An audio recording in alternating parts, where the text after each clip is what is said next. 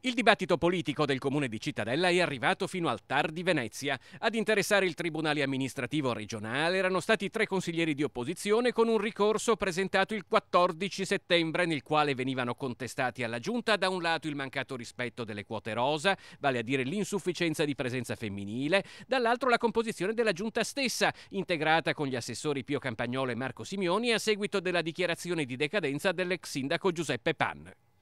Se il 29 ottobre il vice sindaco reggente Luca Pierobon aveva ristabilito l'equilibrio della parità di genere nominando assessore Marina Beltrame in sostituzione di Paolo Vallotto, dall'altro però il vice sindaco aveva ribadito la legittimità della composizione numerica della giunta confermando in sei il numero dei componenti. E su questo punto è arrivata la sentenza del TAR che ha riconosciuto la legittimità della giunta in quanto il numero di assessori è contenuto entro la proporzione di legge di un terzo, vice sindaco reggente compreso, rispetto al numero dei componenti del Consiglio Comunale. sociales.